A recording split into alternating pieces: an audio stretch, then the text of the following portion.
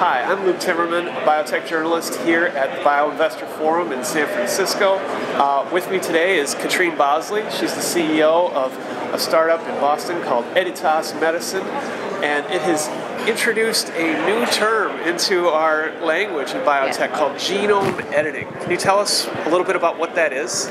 Well, in some respects, it's exactly what it sounds like. It's a new technology to be able to change the genetic material, the DNA. There's, there's a little molecular machine, which actually was discovered in bacteria, that's now been adopted or adapted to be able to work in other cell types, to be able to go in and if you want to knock a gene out or knock a gene in or repair or edit a gene, this is, is able to do that right now at the laboratory level and we are working to be able to translate that into treating genetic diseases.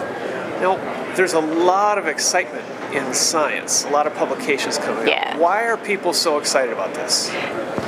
Bottom line is because when people try it, it works. So partly it's because of the power of the idea of treating diseases at a genetic level. That's a very powerful idea. People have been thinking about that for a while. There have been some earlier versions of genome editing technologies, zinc finger nucleases, which Sangamo has worked on, TALENs are another one. But this approach that's created all the excitement and all the publications, it seems to be much more robust and much easier to use. And I think that's why you're seeing the excitement in many different laboratories, many different cell types, many different targets. It has worked for people in, in the academic setting. And so with that robustness, I think, comes the great excitement.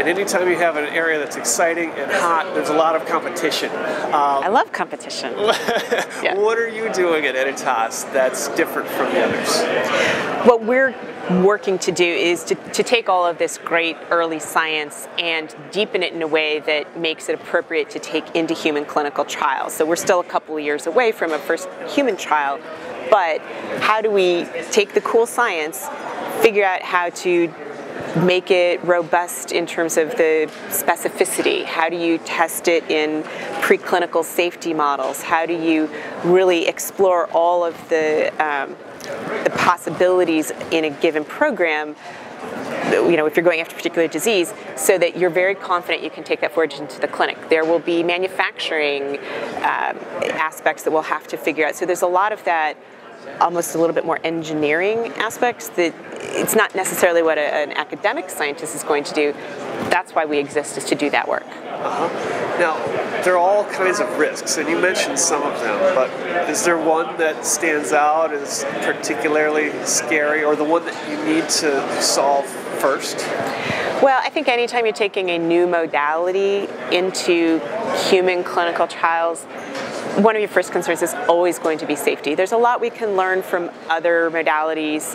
Um, work that's been done in gene therapy is very informative. The early genome editing work is informative, but we have to think very deeply about safety and how do we do the right assessments preclinically to be confident that it's a reasonable thing to do to go into human trials. So that that's I, I think about that a lot for sure.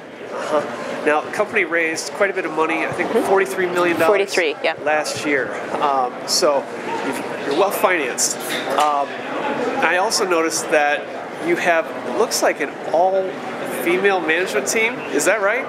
Um, not quite. David Bumcrot is our senior director of research, and um, the, the, rest of the team is uh, female at the moment. But frankly, we're just a lot of people who want to make wonderful therapies.